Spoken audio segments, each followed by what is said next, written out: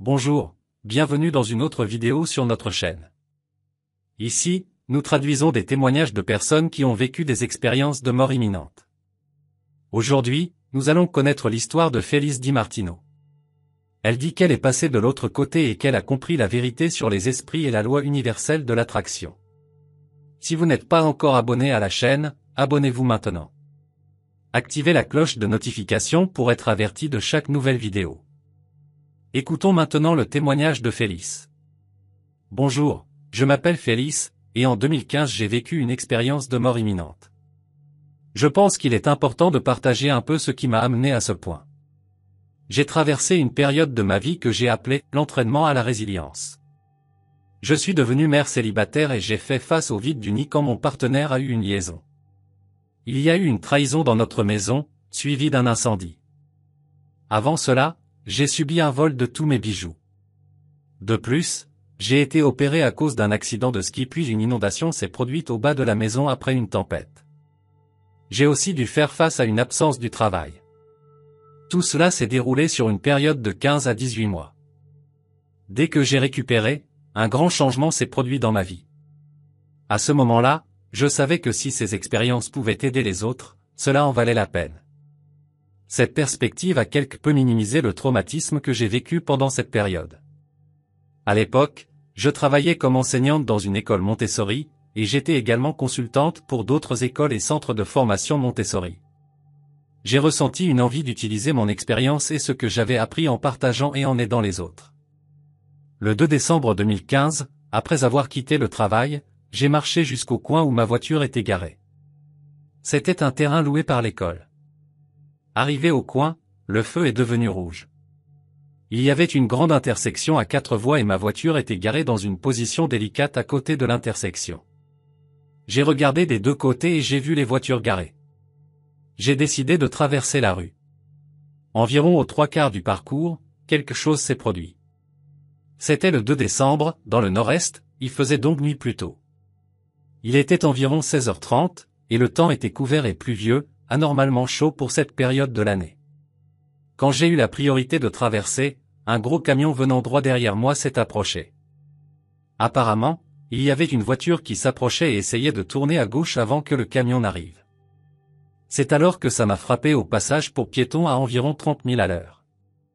À ce moment-là, j'ai ressenti un impact sur le côté droit de mon corps. Le temps a semblé ralentir et j'ai tourné la tête dans la direction d'où venait le camion. C'était comme regarder des images d'un film au ralenti, même si cela se passait si vite. Puis j'ai réalisé que j'étais au-dessus de mon corps, observant la scène comme un oiseau, avec une vue agrandie. Mon corps était allongé, ressemblant à un dessin en perspective. J'ai entendu la fille qui m'a frappé dire qu'elle m'avait frappé et qu'elle avait appelé le 911. Il y avait deux autres personnes dans la pièce, un homme et une femme. Je pouvais tout voir comme s'il y avait un projecteur braqué sur ce qui se passait en dessous, même si j'avais cette sensation d'espace tout autour de moi. Et j'ai pu voir l'homme conduire l'un des véhicules tandis que la femme, pas celle qui prétendait m'avoir agressé, lui a indiqué de se diriger vers une rue transversale. Une des voies perpendiculaires a été arrêtée pour contrôler la circulation, pendant ce temps, j'étais au-dessus de mon propre corps, contemplant la scène. Au départ, j'ai ressenti un sentiment de désorientation, comme s'il s'agissait d'une sorte d'évaluation pour déterminer si je serais capable de retrouver ma forme physique, qui a été identifiée comme étant la mienne. À un moment donné, j'ai réalisé que j'existais en tant que corps allongé sur le sol. De plus, dans cet état de conscience, j'étais aussi au-dessus de mon corps, donc j'existais aux deux endroits. En comprenant que je pouvais revenir, ce fut un instant de savoir que je pouvais retourner dans mon corps, qui semblait intact, même sans que je sois conscient, à ce moment-là, des multiples fractures et gonflements internes. Je saignais de la région pelvienne et de la tête, même si je n'en étais pas conscient. Malgré cela, je suis resté calme, enveloppé d'un sentiment de tranquillité. Peu à peu, cette scène en dessous de moi a commencé à s'estomper, à mesure que la scène et la conscience dans lesquelles je me trouvais devenaient plus intenses. C'était comme si je m'intégrais davantage à ce lieu d'existence. Puis je me suis retrouvé plongé dans une obscurité totale et profonde. Ce n'était pas effrayant, mais c'était large, expansif, chaleureux et nourrissant. C'était comme si elle était enveloppée dans un cocon, flottant. j'étais conscient qu'il y en avait d'autres, également enveloppés dans des cocons, flottant dans cette vaste obscurité. Je pouvais sentir, en un sens, la présence de ces autres êtres dans une expérience sensorielle périphérique. Dans cet état, il n'y avait ni inquiétude, ni anxiété, ni peur. Rien de ce que nous associons à la densité. C'était simplement un état d'être, une sortie de cet être dans une sorte de question ou de pensée émergente. De cet endroit, une forme est instantanément apparue et, ne sachant pas si je voyageais là-bas ou si elle est simplement apparue, je me suis retrouvé dans un endroit complètement différent. Encore une fois, je n'étais pas seul. Il y avait une luminosité, une présence. La présence qui était là pour moi n'avait pas d'étiquette précise. Je ne savais pas si c'était un guide, un ange ou autre chose. Pourtant, cette présence était là pour répondre à toutes mes questions et pour me guider. Il y avait une compréhension que cette présence était différente de moi, même si j'y étais directement connecté. J'ai réalisé qu'elle était là pour mon bénéfice et mon soutien, avec une totale inconditionnalité et compréhension. C'était comme si, à cet endroit, je pouvais poser ma tête sur celle de quelqu'un d'autre, mon front contre le sien, et tout savoir et tout comprendre instantanément. C'était un sentiment qui allait au-delà des mots et des sens humains. Je pouvais tout comprendre de cette personne, tout ce qu'il avait traversé, les difficultés qu'il avait rencontrées dans sa vie. À ce moment-là, j'ai pu recevoir des informations sur tout ce qui se passait dans ma propre vie. La profondeur de cette compréhension et les connaissances que j'ai acquises étaient immenses. J'étais conscient de la nature d'être dans un corps humain et d'avoir des expériences humaines. Même après six ans et demi, je suis toujours en train de traiter et d'intégrer tout ce que j'ai appris de cette réunion. À un certain moment, un sentiment d'urgence est apparu, indiquant qu'il était temps de repartir. Je me souviens d'avoir sécurisé ma propre essence, cette partie de moi qui a fusionné avec cette présence.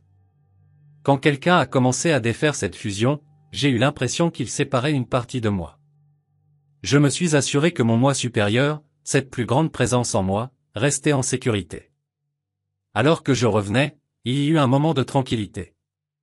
Mon moi supérieur et la présence avec laquelle j'ai fusionné m'ont rappelé tout ce qui a été transmis lors de cette rencontre. Toutes les informations partagées, les compréhensions transmises et les conseils reçus étaient présents dans ma mémoire. Lentement, j'ai recommencé. J'avais l'impression de descendre, de retourner dans mon corps.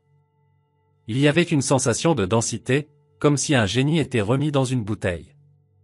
C'est à ce moment que j'ai commencé à entendre un gémissement et un cri venant de la forme physique. J'ai réalisé que c'était moi.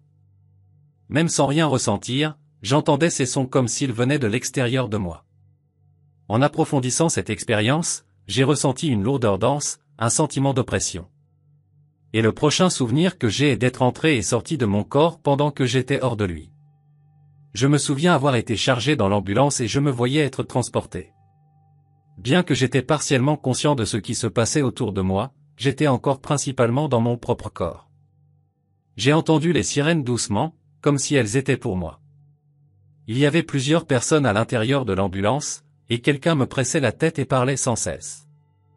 Même ainsi, j'étais dans un état d'interaction entre la densité, la délibération et la persistance, un sentiment d'être en dehors de moi-même. Quand je suis finalement revenu à moi, j'étais pleinement conscient et j'ai été transporté dans l'unité de traumatologie. Ils m'ont emmené dans un hôpital avec une unité de traumatologie de niveau 1. J'ai été témoin d'un mélange de chaos et d'organisation autour de moi dans la salle d'urgence. Pendant ce moment, trois choses sont devenues claires pour moi. J'entendis clairement, avant de retourner dans mon corps, une présence qui n'était pas la mienne mais qui fusionnait avec moi. C'était une présence divine, une essence divine que nous possédons tous. Je me souviens qu'on m'a dit qu'il était temps de vivre pleinement, de vivre grand, quand je suis revenu. C'est la première chose que j'ai entendue en rentrant. J'étais encore profondément lié à mon retour et à mon réajustement à mon corps, qui avait subi une lésion cérébrale traumatique. J'ai eu plusieurs fractures et lésions internes, mais j'ai entendu dire que tout allait vraiment bien. La troisième chose que j'ai comprise était l'expérience de comprendre que nous sommes beaucoup plus grands que nos corps. Quand j'étais hors de mon corps puis de retour, j'ai appris une compassion et un pardon profond. Tout allait bien, et ce sont les fondements de tout cela, tels qu'ils m'ont été partagés, la compassion, l'amour, l'acceptation, le pardon et la gratitude. Il y avait plus que cela. J'en suis venu à comprendre les limites d'une manière différente, étant un être spirituel ayant une expérience humaine. La plupart du temps, au cours de notre vie, nous devons honorer l'étincelle divine en chacun de nous. Cette étincelle est née avec nous et est présente en chacun, que nous y accédions consciemment ou non. Ce que j'ai compris du pardon et de la compassion, à la fois en revenant et en passant en revue tout ce qui se passait dans ma vie à ce moment-là, c'est que nous pouvons reconnaître et honorer la véritable essence de quelqu'un. Nous devons faire attention à qui ils sont et comprendre que tout le monde a des limites. Ces limites ne diminuent la spiritualité de personne, quelque chose que j'ai toujours été soucieux de remarquer et de reconnaître. Et vivre, tu le sais. Un lieu de paix intérieure, mais en tant qu'être humain, nous pouvons faire face à des défis corporels qui se traduisent par des souffrances parfois si intenses, et tantôt deux extrêmes. On m'a appris beaucoup de choses sur les vibrations, les fréquences et les différents états émotionnels, ainsi que sur les principes de la loi de l'attraction. C'est dans cet espace expansif, où l'ego et la résistance n'existent pas, que nous pouvons exprimer nos pensées rapidement, où l'énergie monte lorsqu'une question, une divagation ou une curiosité surgit. Cette pureté de ce lieu est profondément significative. L'expérience que j'ai eue m'a fait suivre un chemin spirituel tout au long de ma vie, à la recherche de connaissances pendant de nombreuses années. J'ai étudié avec de sages maîtres spirituels, j'ai vécu dans des ashrams et j'ai vécu de nombreuses expériences. Il y avait une connaissance profonde et consolidée dans chaque cellule et particule de mon corps et de mon champ énergétique. C'est l'essence même de qui nous sommes, et nous avons tous accès à ces informations et pouvons expérimenter des états de conscience élargis et des souvenirs de cet endroit où tout va vraiment bien. Il n'est pas nécessaire d'avoir une expérience de mort imminente ou d'être heurté par un camion pour se réveiller et écouter les conseils à l'intérieur. Malheureusement, je ne faisais pas attention à ma propre guidance intérieure, et il a fallu cet incident traumatisant pour que je me réveille et que j'écoute d'une nouvelle manière. J'ai pu voir comment j'ai géré et co-créé cette situation, et je crois que nous ne devrions pas avoir honte de prendre nos responsabilités. Tout comme je suis responsable que mon partenaire ait une liaison, ce n'est pas une question de culpabilité, c'est une question de reconnaître que je ne m'honorais pas et que je n'écoutais pas mon intuition et les signaux qui étaient présents.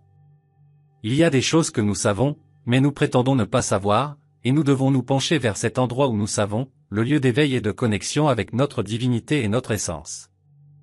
Après cette expérience, la connexion et les conseils que j'ai reçus m'ont amené à partager qu'il n'y a rien à craindre, il n'y en a vraiment pas.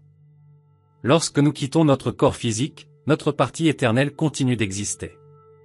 Il y a aussi une acceptation que nous sommes nos pires critiques, et il n'y a pas de jugement de l'autre côté. Il n'y a pas d'être céleste assis sur un trône prêt à nous juger. Il n'y a que l'amour, la nourriture, le confort et un lieu de soutien. Nous avons tous nos guides, nos anges et nos enseignants spirituels qui sont là pour nous aider dans notre voyage ici sur Terre et pour nous connecter à cette connexion. Lorsque nous faisons la transition, nous sommes accueillis et reconnaissants. Alors, qu'avez-vous pensé de cette histoire incroyable? Laissez vos avis dans les commentaires. N'oubliez pas de vous abonner à la chaîne. Apportons à plus de gens l'espoir qu'il y a de la vie au-delà de ce que les yeux peuvent voir.